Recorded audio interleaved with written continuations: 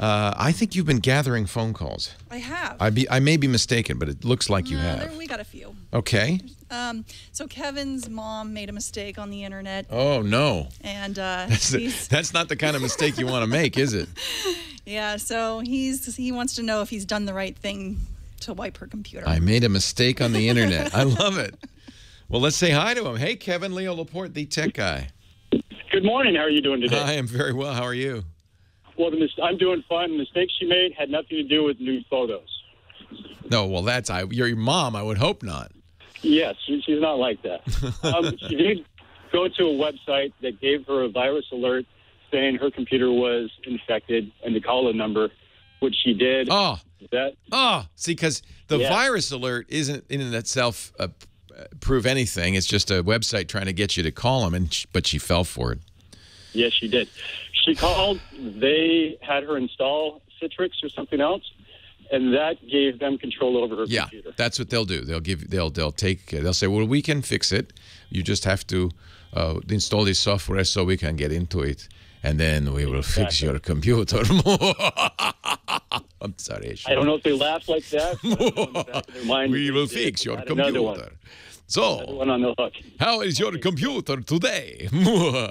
so, uh, yeah. So there's a couple of things that happen. There are a couple of scams that can happen there. The the least uh, offensive is they charge you money for that, and they take your money.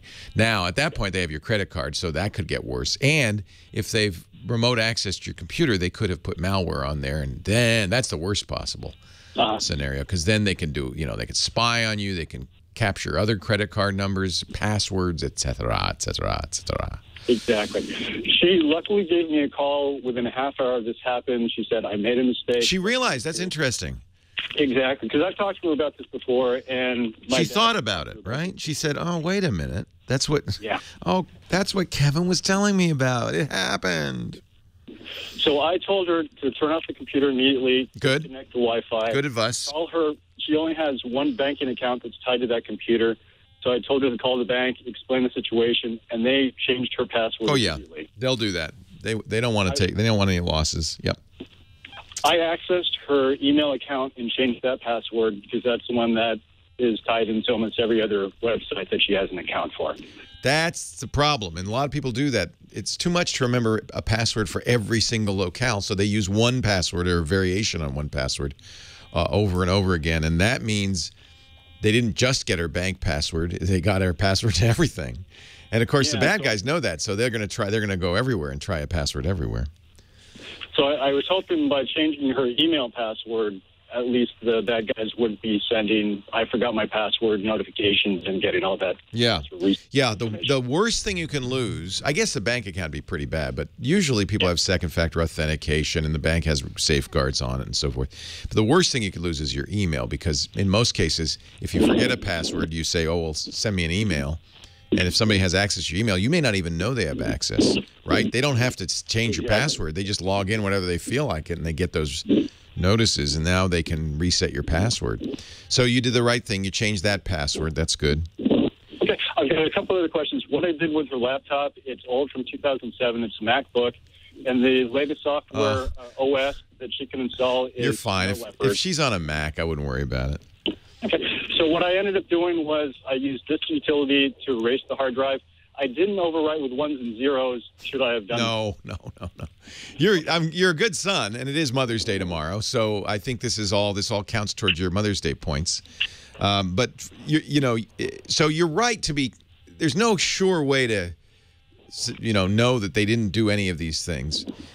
Chances are they didn't. So, but you're right to be proactive. Um, but I, you don't need to you don't need to clean the hard drive like that because that's only if they get access to the physical access to the hard drive. You're fine there.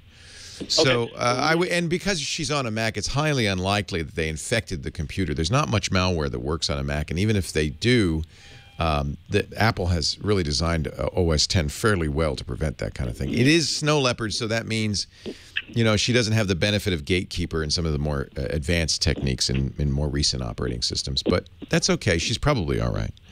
Okay. And the other question I had, my dad has an iMac that they both share the same Wi-Fi. I didn't think there was a way for while her laptop was infected or possibly Well, compromised. There is his would be- potentially because you this is called a worm, a, a virus that spreads over the network. Uh, that's why you turn on the firewall. E- uh, even though you have a firewall with your router connecting you to the outside world, you also have a firewall on your computer on Windows and OS, OS 10 Macintoshes. I would turn on the firewall because that prevents infect in, intranet work infection, infection from one computer to another inside the house. It's inside the house. Oh my goodness.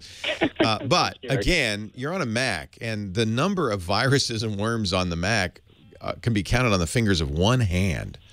Highly unlikely. In fact, it's amazing that they actually were able to get in. they because most of the time these guys are expecting Windows machines.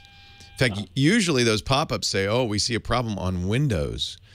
So uh, she was being uh, sad because she got she got snared, but I think she's probably all right. It's- You're doing the Right right thing. that, she was really upset. Uh, so, to be cautious, I was going to just wipe my dad's computer after I back up some information. And the Airport Extreme that they use, is there any way that could be affected? I was No, no. Your dad's computer's all right too. I wouldn't worry about your dad's computer. Yeah. You're you're fine. You're being extra cautious. Good good good son, but I think you're good. I think what you've done is good. You wiped her computer. That is the mo that is the farthest extreme you needed to go. Do check to make sure their firewalls are turned on on both their systems. They are not by default on OS 10, which is I don't know why, but they should be, but they're not. Okay, I'll do that. Well, thank you very much for your time. Hey, you're and welcome. Great advice. You got some you got some Mother's Day points there. That was good. thank you. Well, she's an amazing mother. Nice. Oh, yeah. And I think she's probably got pretty scared, but she didn't she- tell her she's okay. She doesn't need to be. First of all, she's got a bright son who immediately, f- guarant, you know, over, burned it to the ground. so you're good. Um, and this is a good thing for Mother's Day. You know, don't just send flowers or a, a card to take your mom out to dinner. Fix her, fix her PC too. That's a nice thing to do. Set her up with a iPad or a Chromebook. Do something nice for mom this Mother's Day weekend.